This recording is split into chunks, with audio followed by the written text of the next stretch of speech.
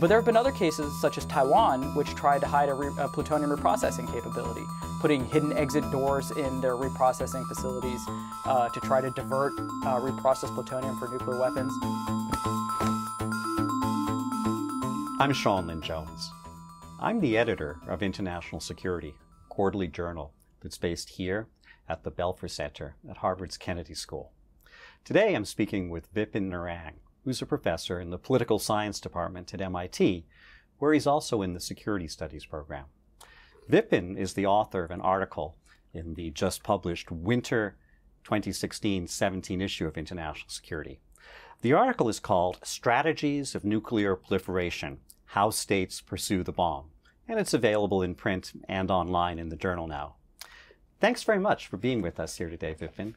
I wonder if you could start by just trying to summarize the main argument of your article for us. The article really unpacks the different strategies of nuclear proliferation that states have adopted. The main point of the article is that these differences matter not only to the proliferation landscape and the character of nuclear proliferation at any point in time, but also how states can respond to different uh, states pursuing nuclear weapons based on the strategies that, that they adopt.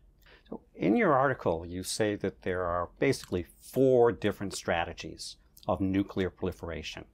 Um, could you tell us a little bit more about those? What's the first one? So the first strategy uh, takes uh, is, called nuclear hedging, uh, and the goal of this strategy is to acquire the pieces to eventually, at a later date, at a time of the state's choosing, uh, consummate the program and develop nuclear weapons. Uh, and I identify Japan as what I call an insurance hedger.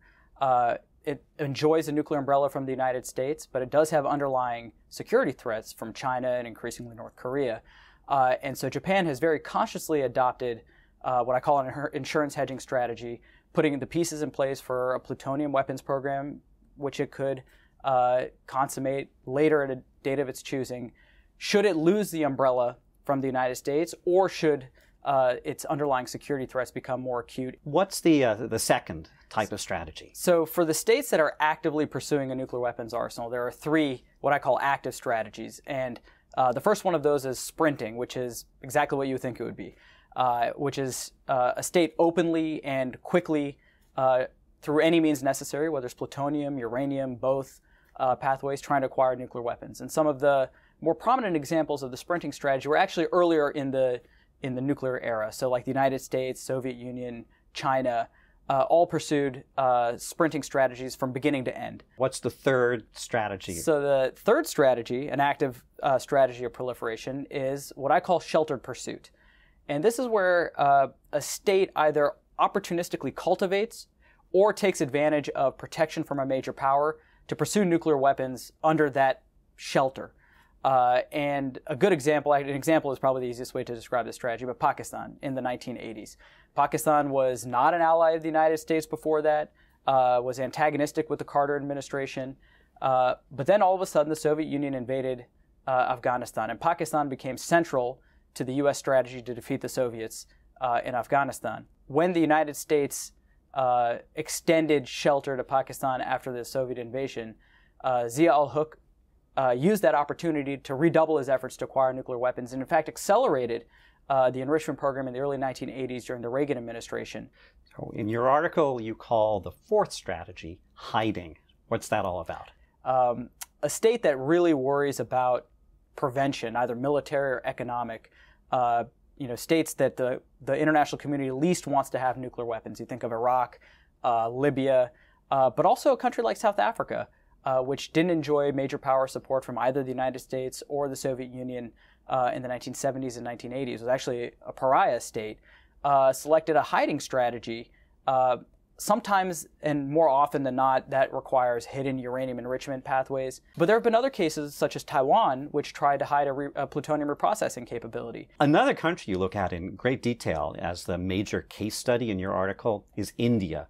What does the India case tell us?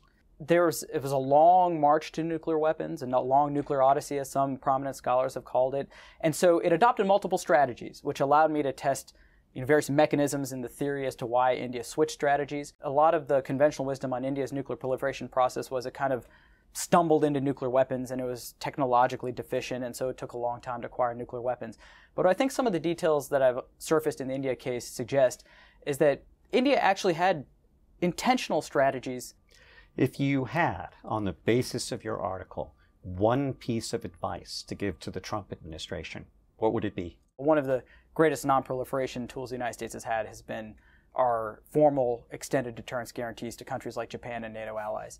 And if the Trump administration uh, lives up to its promise to get the allies to do more, and they start, you know, uh, questioning the credibility of American extended deterrence guarantees, the administration should be prepared for some of these states to start more actively pursuing nuclear weapons, uh, and should question whether that is really an American or global interest.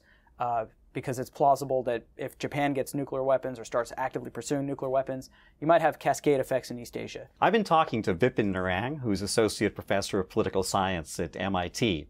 His article, Strategies of Nuclear Proliferation How States Pursue the Bomb, appears in the winter 2016 17 issue of International Security.